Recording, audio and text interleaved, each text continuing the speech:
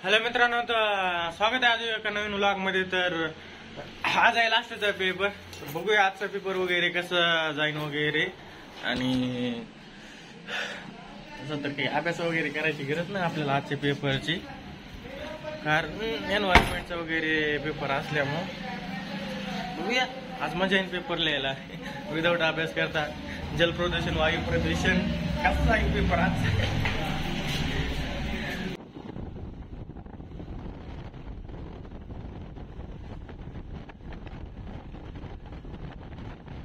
तर कॉलेज वगैरे आलेलो आहे अशाच प्रकारे आणि आज सगळे रिलॅक्स काही एवढं अभ्यासाचं घेणं देणंच नाही. हो आता कसं जातो पेपर टायमाला आलो आम्ही दहा मिनिटा पहिले. चर्चा वगैरे चालू आहे अशाच प्रकारे.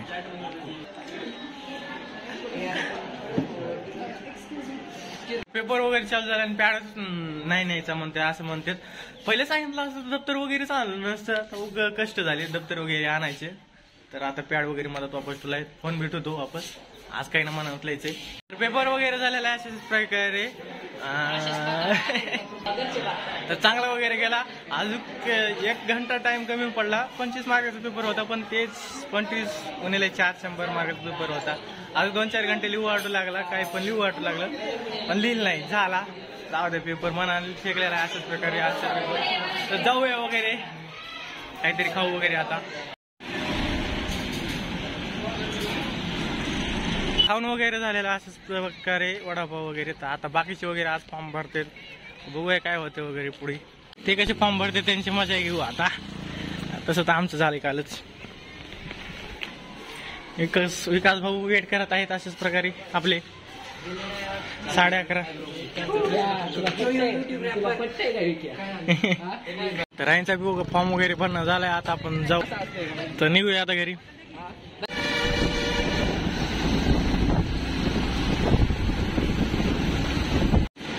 तर आज लई गर्दी मला वाटलं होतं तशी गर्दी वाढन काच गर्दी वाढलीच होती. परीक्षा फॉर्म भरायला वगैरे भरलं जवळपास. बाकीच्या मित्र आहे ना मी आता काही जणांचे राहिले ते बी भरते लवकर. तर आज जरा रिलॅक्स वाटेल कारण की पेपर झाले सगळे. पण आता आता दुसरा ताण थोडा नॉर्मल ताण. असाइनमेंट वगैरे लिहायचे तर आता. ते म्हणतात लगेच उद्याच असाइनमेंट जमा करा. आता काहीच सांगायचं असाइनमेंट लिहिलेच नाहीत. परीक्षेच्या ह्याच्यात. येता येतं नाही. एवढं काय लगेच उद्या द्यायचं दोन तीन दिवसानं लिहून वगैरे. पिक्चर पिक्चर बाबा एखादा एवढा कष्ट केले पेपर लिहून तर. आता बुक वगैरे तर लागले नाही वडा बुक खाल्या असल्यामुळे. कॉलेजून वगैरे आल्याच्यानंतर जेवलो वगैरे आणि जेवल्याच्या नंतर लगेच झोप यायला लागली. तर झोपलो. आज लय झोपलो राव. आज एक ओ साडेबारा दीड ते दीड ते किती? साडेचार वाजता झोपलो समजा. एवढं झोप दिवसा झोप एवढी कसं काय लागते की कळत नाही. पण तेच रात्रची झोप वगैरे बी येत नाही. ते बी खरं आहे लवकर. अकरा साडे अकरा बारा बी वाजले तरी लवकर झोप येणार रात्रच्या आताच झोपावं लागेल तर आता टाईम वगैरे झालाय जायचं. क्लबला कबड्डीच्या. तर आवरणं बी झाले. निघूया आता. लवकर गेलेलंच बरं. नंतर प्रॅक्टिस वगैरे रनिंग वगैरे बी करायचं लवकर जाऊन. आज नशीब बरं बराबर नव्हतं. झोपेतून उठलं वगैरे फोन चार्जिंग लावला तर लगेच लाइट गेली. आता फोनला बी तेवढी चार्जिंग वगैरे नाही. आणि आता खाली कार्यक्रम वगैरे दररोज असल्यामुळे आज इंदोरीचे महाराज कीर्तन वगैरे तेच सांगत आहेत. कीर्तन वगैरे आहेत. जेवढं होईल तेवढं आज लवकर येण्याची कोशिश करेल कीर्तन वगैरे ऐकायला आवडत मला. इंदोरीकर बाहेर जायचं लई दिवस झाला ऐकले लई दिवसाखाली ऐकलेला आहे. आता ऐकायला भेटेल का नाही सांगता यायचं नाही. तसं तर तो इंदोरीकर महाराज लेटच येत असतो. पण बघू आपण. मला लवकर येणं झालं तर भेटन ऐकायला. आखिर काल लय वेळ लागला पण बस आली. आवाज लय टाइम लागलेला आहे. हा, कारण की मंगळवारच्या वाघोलीचा बाजार वगैरे असल्यामुळं. तर आता लवकर जातो आणि किट वगैरे करतो. रनिंगला वगैरे जायचे तर किट वगैरे झालेले आहे सगळे गेले वाटतं समोर तर जातो मी मी रनिंगला आता.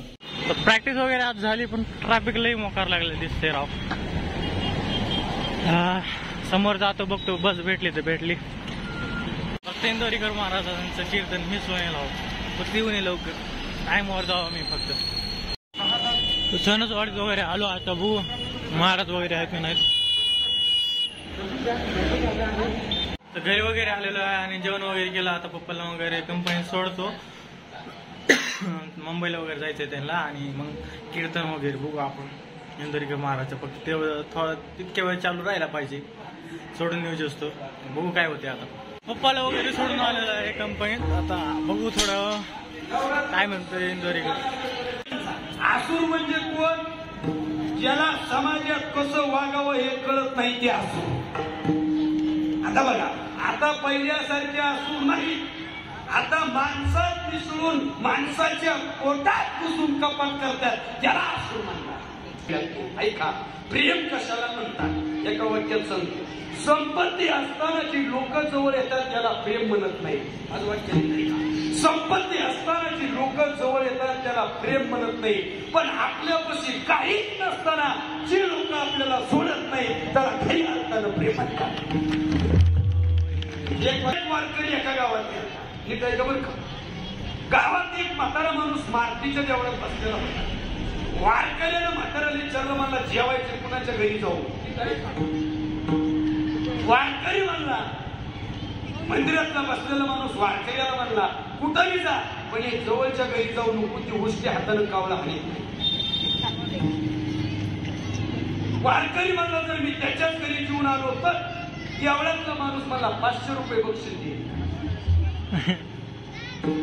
आता बक्षीस म्हणल्यावर पुन्हा नको ती मला लागली पहिली लागली. वारकरी याच माणसाच्या दारात गेला. नीट का बरं का कसं जिंकायचं असतं? वारकरी आमचा हुशार येते नेमका त्या बाईचा नातू अंगणात खेळत होता. कोण खेळत होता? नातू तिथं कृष्णासारखा होता असा वारकरी म्हणला. जर ते ढाकळ्यात टाकला असता तरी ओळखू आला नातू दोन दोन मिनिटाला. पण वारकऱ्यानं गेल्या गेल्या नाथाला उचललं. बाप्पा रे एवढ्यात म्हातारी हरकतच बाहेर आली. म्हातारी लय खट्याळ. कोणाला म्हणले? किंवा लाची क्षमा करा. क्षमा करा. तुम्हाला मी विचारलं नाही म्हणला. तुमच्या नाताला उचललं. पण खरंच सांगू मी पंढरपूरला चाललो होतो. पण तुमच्या नाताकडे बघितलं आणि मला कृष्णाची आठवण झाली. कोणाकडे बघितलं? आजी क्षमा खाला तसं त्या नव्हतं उचलाय पाहिजे माझा माझं चुकलं बरं का? पुन्हा वारकऱ्याने नातं पुसला. दोन चार मुख घेतो मला आले नातं दिसतं कृष्णासारखं. नको ग याला उन्हात खेळी चालू नको पुन्हा नातं खाली सोडला पुन्हा उचलायचा पुन्हा काकाला घ्यायचा पुन्हा मुख घ्यायचा मला आजी चुकलं बरं का येतो म्हातारी म्हणजे कुठं चाललाय बघतो मला कोण जेवाय देते बा आमच्यात काही कळलंय काय म्हणतो वारकरी मला जमते या म्हणजे बासुंदी केली वारकरी म्हणला रस्त्यातच बसाल का मला वारकरीने बासुंदी हाणली दक्षिणा घेतली आणि देवळात आला. आणि देवळातले पण पाचशे रुपये पुन्हा मला वारकरी साधा.